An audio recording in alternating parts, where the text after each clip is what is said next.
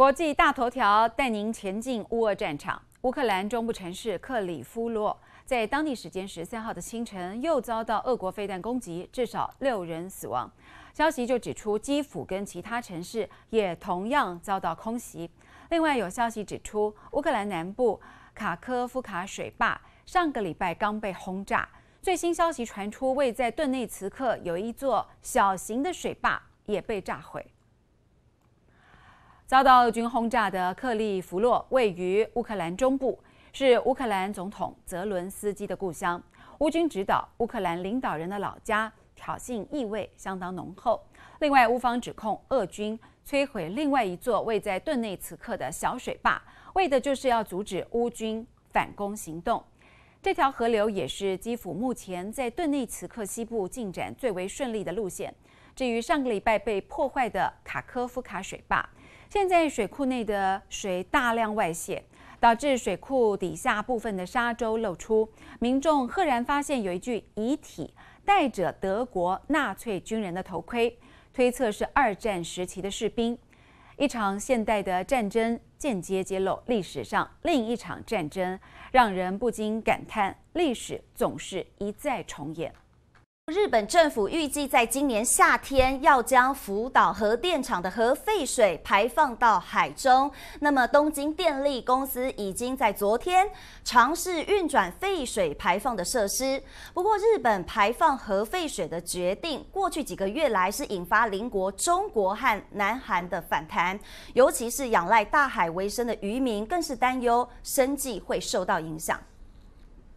遨游在水中采集海菜。对南韩海女来说，大海是生活的一部分。不过，随着日本近期可能就要排放福岛核电厂的核废水，赖以为生的大海是否会被污染，令海女们忧心忡忡。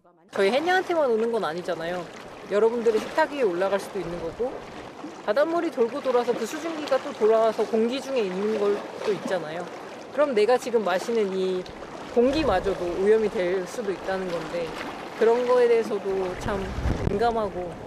日本原定今年夏天就会排放核废水，东京电力公司在十二日也是运转了核废水的放流设备。虽然日本政府坚称排放的废水都会经过安全检测，但是邻近的中国和南韩反弹的声浪都很大。日方不应出于一己私利，而要让国际社会来承担整个海洋受到污染破坏的。这样一种代价。而在南韩，根据民调，百分之八十五的民众反对日本排放核废水，不少民众担心海鲜会受到污染，甚至还有人因为担忧海盐会受到影响，开始囤货，让南韩盐价两个月来涨了超过两成。日本尚未排放废水，但是对邻国民生经济的影响已经开始浮现。如何继续说服国际社会核废水的安全性，成了当前日本政府的一大课题。环宇新闻徐浩明综合报道。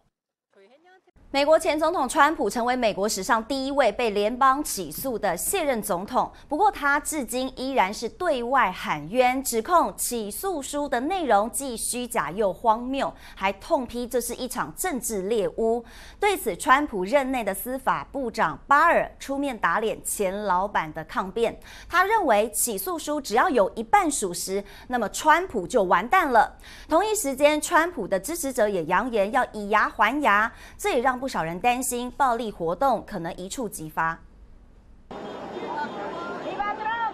大批川粉聚集在川普旗下位于美国佛罗里达州迈阿密的一间酒店外，声援即将出庭的川普。I voted for President Donald J. Trump, and he was an incredible president. Um, we had a great economy, peace. He got along with everyone. And he didn't jail people the way they're jailing people right now. So I believe now, if he's back to the White House, he's gonna be even better president. 而川普遭到起诉的案件，也让不少较为激进的川普支持者群起激愤。除了发起示威行动，还扬言要以牙还牙，让部分人士忧心，川普在当地时间十三日现身迈阿密联邦法院时，恐怕会引起暴力活动。对此，迈阿密市长也表示，已经对可能发生的暴力冲突做好准备。We encourage people to be peaceful in, in them demonstrating uh, how, they how they feel. And uh, we're going to have the adequate forces uh, necessary to ensure that. Um, there may be, depending on the crowd size, some road closures. So people who live in the downtown area should uh, expect uh, additional traffic and should prepare for that. 至于川普本人对这起案件的看法，他日前在位于乔治亚州的共和党大会上，火力全开的炮轰拜登政府以及司法部所提出的起诉书，并抨击当局政府滥权，发起这场出于政治动机的猎巫行动。只是川普在任时期的司法部长巴尔却出面打脸了他的前老板。If even half of it is true, then he's toast. I mean, it's a it's a pretty it's a very detailed indictment. Uh, and it's very, very damning. And this idea of presenting Trump as a victim here, a victim of a witch hunt, uh, is ridiculous. 曾是川普政坛盟友的巴尔认为，川普正面临司法部证据确凿的起诉，而非川普口中的政治猎巫，并且指责川普的行为十分不负责任。而川普遭到指控的三十八项罪名如果都成立，他的总刑期恐怕会达到数十年，让外界十分关切他将会如何应对这场棘手的官司。华语新闻薛飞轩综合报道。现在中国也与沙地阿拉伯签署了价值近一百亿美元的商贸协议，涵盖有新技术、可再生能源、矿产等领域的合作。但是沙中两国发展伙伴关系，恐怕令美国政府越来越不满。美国国务卿布林肯才刚结束沙国访问，试图要修复美沙关系，但是最后就连美国媒体都抨击布林肯此行的成效是相当有。随着中国在中东地区的影响力逐渐扩大，中国与沙地阿拉伯政府在十二日举行的第十届中阿企业及投资研讨会上，就签订了总额近一百亿美元的商贸协议。据中国官方的说法，中国是阿拉伯国家第一大的伙伴国，两国合作关系有更密切的趋势。沙国能源部部长表示，两国能够互补对方的需求。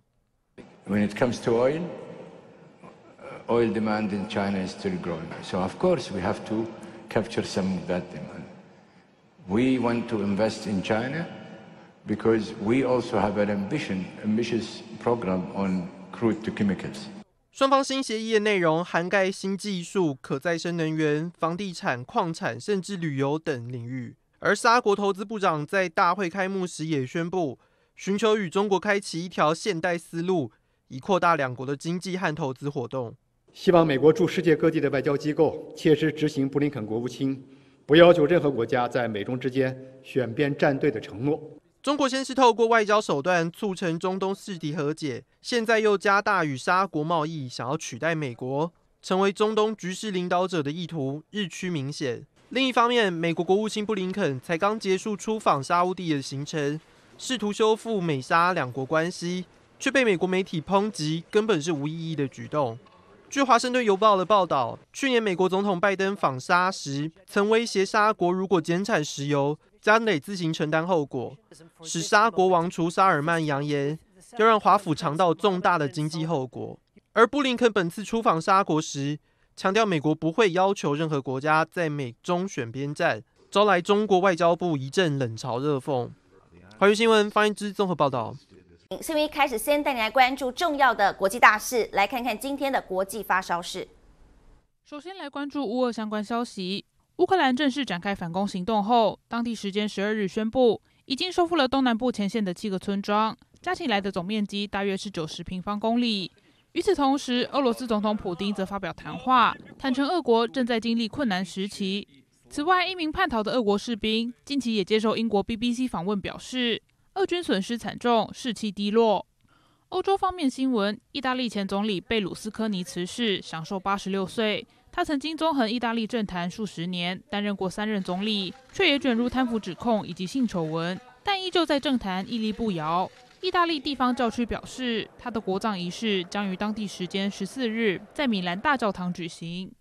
再来关心科技业新闻。美国去年十月对中国半导体业实施出口管制，但给予台积电和南韩三星等公司取得一年豁免期。华尔街日报报道，现在拜登政府有意延长豁免期，允许这些企业在中国维持或扩大晶片业务，而不会受到美方限制。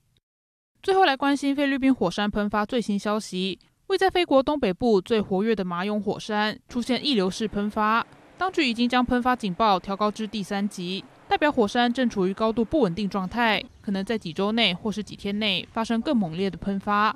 目前距离火山口六公里的地区，已经有超过一万两千多人撤离。华语新闻黄瑜君综合报道：美国总统拜登原定当地时间十二号要和北约秘书长史托滕伯格会面，不过现在却因为牙痛进行治疗，必须要延后到隔天才举行。那么，拜登的私人医师就表示，拜登出现了右下颚前臼齿疼痛的状况之后，马上就医进行局部麻醉的根管治疗。所幸，拜登对手术的耐受性相当良好，并没有出现并发症，只有口腔不太舒服。不过，由于拜登已经年届八十岁，各界都非常关注他的身体状况。意大利的前总理贝鲁斯科尼，当地时间十二号因为肺部感染病逝，享受八十六岁。贝鲁斯科尼是一九九四年首次出任了意大利的总理，一共当了三届，纵横意大利政坛数十年。不过这几年开始健康恶化，但值得一提的是，他逝世之后，旗下的媒体公司股价反而还涨了。路透社指出，啊，因为投资人看好未来，事业帝国会开启新格局。身家亿万的媒体大亨，同时也是任期最长的意大利前总理贝鲁斯科尼，当地时间十二日于米兰的圣拉斐尔医院离世，享受八十六岁。根据外媒报道，贝鲁斯科尼长期患有白血病，近日肺部又遭到感染，病况才会急转直下。而这突如其来的噩耗，也使许多民众惊讶不已。Ma è vero? Ah, a me sembrava immortale. Comunque mi dispiace, anche se io la penso chiaramente diversamente, è una figura che ha fatto comunque una cosa storica in tutti questi anni. E poi è un grande imprenditore al di là della politica, ma colto di sorpresa 事实上，贝鲁斯科尼在踏入政坛之前就已经靠经营投资商业电视台跃升为意大利首屈一指的富豪，并且凭借庞大的资源，在一九九零年代正式参政，一共三次出任总理职位，纵横意大利政界超过二十年。在许多人眼中，贝鲁斯科尼着实是个传奇人物。而意大利现任总理梅洛尼也表达了对这位执政伙伴的尊敬。Silvio Berlusconi era soprattutto un combattente. Era un uomo che non aveva mai avuto paura. a difendere le sue convinzioni e sono stati esattamente quel coraggio, quella determinazione a farne uno degli uomini più influenti della storia d'Italia, a consentirgli di imprimere delle vere e proprie svolte nel mondo della politica, della comunicazione, nel mondo dell'impresa. 除了梅洛尼以外，美国白宫发言人以及国务卿布林肯，还有法国总统马克宏和欧盟议会主席等国际间的重要人物，都已向贝鲁斯科尼的死讯表示哀悼。 不过，让人意外的是，贝鲁斯科尼的离开竟然让他旗下的媒体公司 MFE 有了意料之外的斩获。十二日米兰股市开盘后，MFE 的 B 股一度大涨百分之十点三。路透社分析，这是因为投资人认为，随着贝鲁斯科尼的离去，这家公司可能会开启新的格局，并且使前景更加光明。华语新闻徐培轩综合报道。南韩三星电子有一名前主管遭到逮捕和起诉，而原因是他涉及窃取公司的设计蓝图。试图在中国复制新建一整座晶片工厂。南韩检方在声明中表示，这起案件非常重大，和过去个别的半导体技术外泄案的犯罪规模完全无法相提并论。好，根据路透社报道，这名三星前主管被指控在二零一八到二零一九年期间非法获取和使用商业机密，在一家未具名台湾公司的资金支持下，寻求在西安建立一家晶片厂。而这名三星前主管还聘请。来自南韩超过两百位的晶片专家，更从三星窃走价值超过六十亿台币的高价值资料。南韩检方表示，试图复制整个晶片制造工厂的案例是很罕见的。多年来，多数智慧财产案例都是集中在挖走重要工程师关键设计或技术来仿造。不过，目前三星电子对于这起案件还没有正式的回应。后疫情时代曾经被视为救命稻草的新冠疫苗，现在却开始成为法律攻防焦点。德国疫苗制造商 B N T 在当地时间十二号，因为遭到部分疫苗接种者控告，引发不良后遗症，而面临德国国内第一起的新冠疫苗诉讼案，再度让疫苗安全的讨论登上了台面。拜疫苗所赐，人类得以抗衡疫情延烧。如今迈入后疫情时代，疫苗却成了争议之物。二零二零年问世，曾经被誉为救命稻草的新冠疫苗，渐渐成为法律焦点。德国疫苗制造商 B N T 在当地时间十二号遭到部分接种者控告，引发不良反应，而开启在德国国内的第一件诉讼案。但因为控方对法官公正性提出质疑，所以庭审被宣布延后。根据法院的资料，一名女性原告在诉状中指出，她在接种 BNT 疫苗之后出现上半身疼痛、四肢肿胀、精疲力竭、疲劳和睡眠障碍等症状，因此寻求十五万欧元（折合新台币四百九十六万元）的赔偿金。而她的律师也在类似的案件当中代表另外两百五十人提出诉讼。根据德国审批疫苗的研究所，在德国注射的一点九二亿剂疫苗当中，有三十三万八千八百五十。十七例出现疑似副作用的病例通报，其中包括五万四千八百七十九例属于严重不良反应，也让有关疫苗安全的讨论再次成为国际焦点。华语新闻邱婉婷综合报道。关心乌俄战争目前的最新战况，乌克兰在这个月开始发动了大反攻，目前陆续传出捷报。根据乌克兰国防部的声明，截至当地时间十二号，乌军是已经沿着南部的扎波罗热，还有东部的顿内茨克前线，收复了七座聚落，重新掌控的领土面积多达了九十平方公里。乌军现在看起来势如破竹，倒是俄罗斯的军队越来越厌战。有一名俄国的叛逃士兵就跟 BBC 透露。俄国军队不知道自己为何而战，也对国防部给出的低薪相当不满。乌克兰士兵摆好姿势，手持国旗，在新占领的小镇前呼喊口号。乌克兰从上周展开的反攻又传捷报。乌克兰国防部副部长马里亚尔在通讯软体 Telegram 上发文表示，乌克兰已收复了七座村庄，而朝巴赫姆特的战线推进了两百五十到七百公尺。щодо варіантів дій ворога, наше оперативне домінування зберігаємо і посилюємо. Окремо вдячний за Бахмут. Збільшуємо наш контроль на цьому напрямку. 北约秘书长史滕伯格在十二日时表示，俄国在乌克兰展开反攻前有做足防御的准备，所以乌克兰得预期一场血腥又困难的攻势。 俄国总统普京则一再强调，俄国仍然保持优势，释出乌克兰战车遭毁画面，并继续发表激励爱国情操的演讲。Сегодня в непростое для России время они еще больше, крепче объединяют наше общество, служат надежной опорой нашим героям, участникам специальной военной операции。然而，俄国战况或许不像普京试图要包装的一样顺利。 据 BBC 采访的一名叛逃俄军飞官所说，俄国军队内部根本没有人认为俄国入侵乌克兰是为了保卫国家，而且原本招募时的广告表示，有经验的空军飞官可以拿到每个月约七万六千元台币的军饷，实际上只有三万三千元，因此俄军内部士气低迷。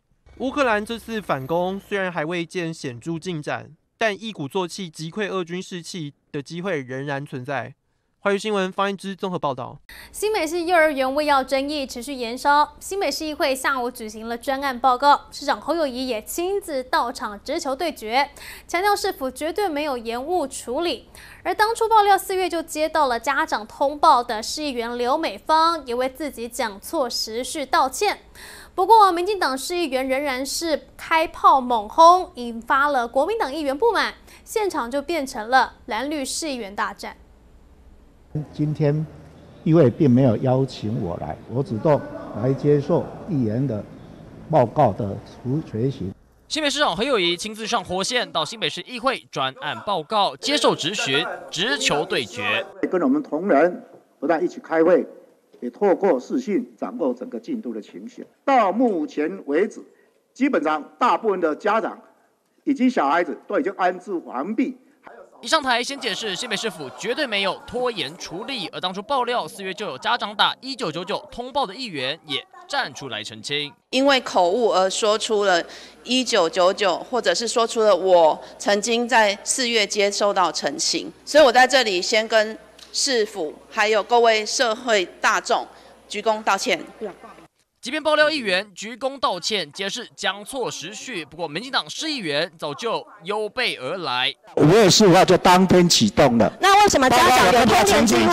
注意哦，五月二十二号这个家长打电话去有通联记录的哦。好好回答。六月二十二号。五月二十二号家长打电话，你刚才都没有听啊你。绿营活力全开，侯友谊以不变应万变，蓝营市议员全力反击。这些民进党的这些狗官，竟然没有查证，一一的来渲染这件事情。戴伟山议员多次在电视上公开的指责我说我包庇，你你你你你你公开，你公开，你辞职，有的话辞职。幼儿园专案报告变成蓝绿市议员大战，侯友谊再度强调，一定会招出真相。这个案子我们一定要勿往勿重，以保护孩子的健康，让家长安心。幼儿园未要案烧不停，侯友谊从记者会到市议会，通通亲自上火线，不让风暴持续扩大。欢迎新闻，张环轩、庄品达、叶玉娜、王一德，新北采访报道。民进党前副秘书长林非凡才被提名参选北市第三选区中山北松山立委选战，却因为担任党内副秘书长时曾经对性骚案督导不周，党内质疑时任妇女部主任许家田请辞负责，林非凡却可以全身而退。而今天他是临时召开记者会宣布退选，性平争议真的是重创民进党形象。民主大联盟提名人选李正浩、林非凡现在双双退选，也不免让人认为这是民主大联盟的挫败。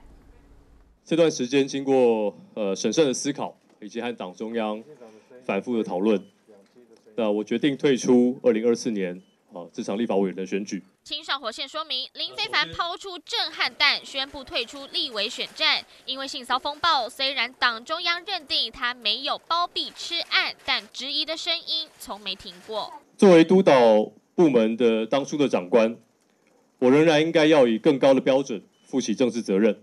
强调要扛起政治责任，传出是因为党内不满性骚案中许家田请辞，林非凡却全身而退，被外界批评是全党就一人，让党内高层决定劝退林非凡，设下停损点。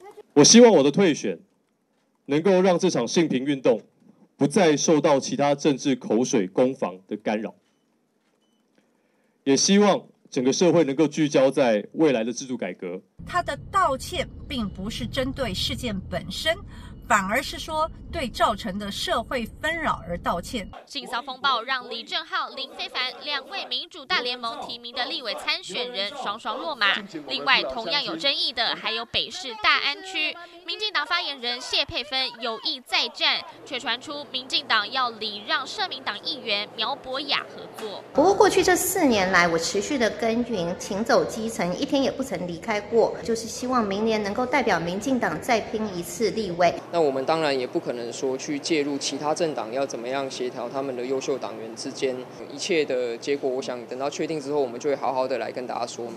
大安区要提名谁，党中央跟基层还在拔河。民主大联盟原本要让立委的席次极大化，如今却争议不断，也让赖清德主席的威信受到挑战。欢迎收看由不知单传台北。谢谢各位朋友。而台北市立文献馆举办纪录片发表会，特别邀请了历届市长，包括马英九、郝龙斌、柯文哲以及现任市长蒋万安等六位市长一起同台欣赏纪录片。但是历任市长细数政绩，马英九就说，唯一遗憾的是大巨蛋没有完成，希望蒋万安尽快完成大巨蛋。而蒋万安和柯文哲最近则是因为悠游卡公司新贵案杠上，两人现场互动也引发关注。台北市城市发展一九二年以来的纪录片，兼并者兼历任台北市长出席纪录片发表会，不过光是台上致辞就有浓浓火药味。唯一遗憾的就是大巨蛋到现在还没有完成，希望蒋万安的施政越来越好，并且尽快尽快完成大巨蛋。一棒接一棒，前人规划甚至承受的苦痛，我们在欢喜收割的时候要记得前人所做的贡献。一棒一棒收割是称赞还是暗讽，恐怕只有当事人才知道。而纪录片还是柯文哲市长任内就做好，就怕国民党历任台北市长帮柯文哲的政绩背书。大会吗？今天是不是你的造势大会？大家帮你造势。是柯市府时期啊文化局所规划帮台北市办的一个纪录片。好，所以我想就是非常单纯。现场座位一左一右，不止距离远，新的距离更远。两人就悠游卡公司新贵案隔空杠上，柯文哲现任前核定，但又被曝营运成本增加，获利下降。蒋万喊话有疑虑都要查。柯市长有跟他聊到悠游卡新贵的问题吗？没有，刚刚没有机会。我们要想着留下一个什么样的团给下一代，这是为什么非常强调财政纪律。致辞时特别强调财政纪律，但又卡新规案爆出，被国民党议员开酸是肥猫休息站，而民众党议员反过来质疑蒋师傅是在为科救猴，有没有政治选举考量？恐怕真相只有当事人最清楚。欢迎吴志恒、送进台北参导。除了我国的动员情况，各国是否开始撤离也是观察指标哦。最近就有外媒报道，美国政府正在制定在台公民撤侨计划，而且近两个月更加积极准备。但其实之前包括日本、印尼跟菲律宾都曾经传出政府高层在制定撤侨方案。不过我国外交部是否认传闻。学者也认为，现阶段的美中双方正在努力降温，这撤侨传闻有点严。言过其实。中国持续军演，两岸局势剑拔弩张，台海更成为东亚的火药库。两岸情势紧张，最近又传出美国政府正在制定在台湾的撤侨计划，而且准备时间据传超过了半年。根据外媒《信时报》指出，有美国匿名情报官员透露，政府确实正在制定在台公民撤离计划，而且最近两个月的时间，准备情况不断升温。但白宫国安会否认传闻，外交部也赶紧澄清。经过外交部一一的确认，没有任何一个国家有在演练台湾撤侨，就是没有这件事情。尽管外交部否认，但过去早有类似传闻，像是日本、印尼跟菲律宾都传出政府高层正在制定撤侨方案。美国 A I T 也曾在三月发出地震简讯，提醒公民做好撤离准备，甚至在五月传出美方要求国军汉光演习，要演练开辟空中廊道。此时又传出美方制定撤侨计划，似乎代表世界各国其实都对台海局势感到忧心。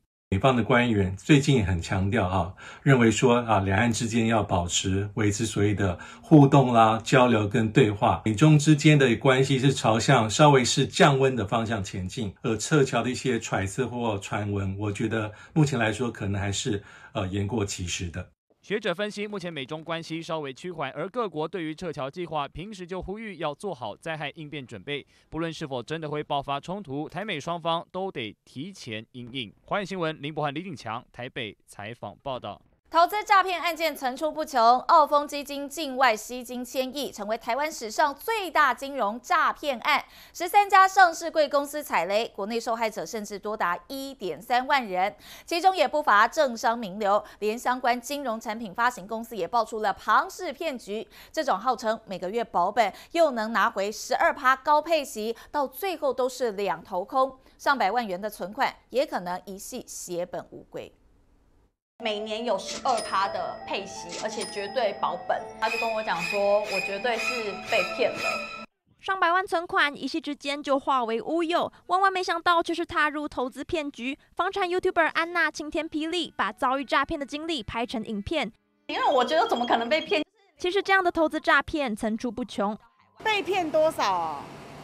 呃，骗四五十万吧。因为已经找很多资料给他看啦。他还是比比较相信诈骗集团。现在诈骗很多，所以那种报酬很高的，基本上都是有问题的嘛。主要是海外，因为你也不知道他拿去做什么用，然后你也不知道他的主要投资标的是什么。就是这种主打海外套利基金，强调保本又能领百分之十二的高配息，头几个月都能稳定拿到钱，之后不止找不到经理人，连原本的投资 A P P 也打不开。其实澳丰旗下的基金诈骗案，国内受害者就多达一点三万人。那六十万。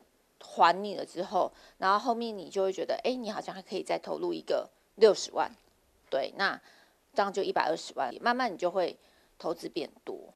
这类型的庞氏骗局策划出的投资案，主打高报酬率的商品，利用吸收新的投资人加入，或是投入更多资金来支付报酬，等到投资人一窝蜂投入金额，就卷款消失无踪。如果每年都能配十趴，我五年就拿回一半的。会一开始上钩是因为它的收益率很高，但是你会投那么多是因为它很稳定。那很稳定了之后，就越来越多人就认为说，哦，它就是个很稳定的产品。既能保本又高配息，天下没有白吃的午餐，投资前一定要停看听。欢迎新闻林维旭、邱子玲台北报道。另外，美国西岸的连锁知名汉堡店，也是到美西旅游必吃的汉堡霸主，今天是限时来台快闪一天，只限时开卖四个小时，贩售三款汉堡。距离上一次来台湾快闪已经是五年前了。这一次登台消息曝光，也是一大早就涌入大批排队人潮，有民众翘班翘课，就是要来吃。双层牛肉，双层熔岩起司，分量超足，用料不手软。但想吃这跨海来的美国味，看运气够不够。美国知名连锁汉堡店来台快闪十三号只有一天，现场发放五百个排队手环，不到三十分钟就发光光。现场还有人呢没拿到手环，继续排。你有听过 Kobe Bryant 讲过一句话？你有看过凌晨四点的台北市吗？没有，上班上哦，没有，都翘了，都翘课了。上七点半，大概有十五个人。翘课翘班在所不惜，店门口常常人龙都在等这一位来自美国西岸连锁知名汉堡店限时一天快闪店。不好意思，如果没有拿到手环，你就先先不用排队了。手脚慢一步就无缘吃到汉堡，因为限量开卖，食材备料只有六百个，每人最多限购两个，三款汉堡让你点。我们在网络上看到的，对对对，IG 有人分享，应该是划算啊，跟台湾的比差很多，分量分量比较大，也比较看起来比较好吃，反正就值得啊。And we had a lot of uh, amazing customers waiting in line, and they all enjoyed the burgers. Uh, we prepared over 500 burgers today. 排到的买到的很幸运，还有民众在现场直接开吃，省下美国来回机票就能大口品尝红透全球美国西岸必吃汉堡。快券吴志恒送至您台北参道。美国知名汉堡品牌英恩奥快闪登台，很多刀客排队都吃不到，这让国内再度掀起了美式汉堡热潮。曾经获选为全亚洲前五十名最好吃汉堡，饶舌歌手瘦子的美式汉堡店，今天下午也涌入人潮，业绩增加三成。还有以花生酱牛肉堡闻名的松山区汉堡店，甚至艺人杨丞琳最爱的东区美式汉堡，都让饕客赞不绝口。手打牛肉排鲜嫩多汁，在煎台上滋滋作响，香气、口感、油脂全都一百分。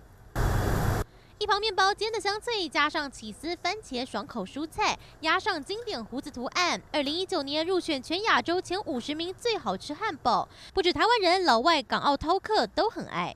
今天想要吃一间从美国开过来的那个那个汉堡，然后就吃不到，所以就来吃这一间。跟台湾的那种普通的汉堡店都不太一样，就是很有美美式风格特色，很我觉得可能跟英号很像。虽然今天没有拍到。吃不到美国汉堡，In and Out 饕客盘点口袋名单，全涌入饶舌歌手瘦子的美式汉堡店 Burger and Co。我觉得是肉很 juicy 吧，面包酱肉就差，就是不同层层级的。可以吃得出来，它的食材蛮新鲜的，而且咬起来的时候，呃，蛮清爽多汁。今天业绩大概比平常多了三成左右，我看今天蛮多人都是都有去排，然后没排到过来吃的，客人蛮多人说蛮像。